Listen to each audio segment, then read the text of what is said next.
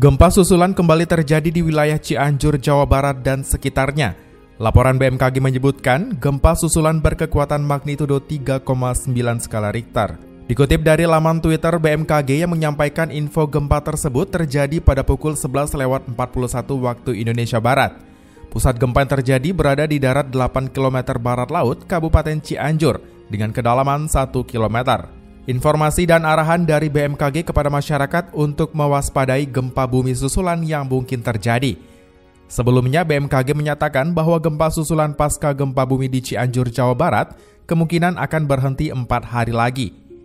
Hal ini berdasarkan hasil perhitungan BMKG terkait pada gempa susulan yang kemungkinan terjadi pasca gempa magnitudo 5,6 skala Richter di Cianjur pada Senin 21 November 2022 pukul 13 lewat 21 waktu Indonesia Barat. Suprianto, GoTV News melaporkan.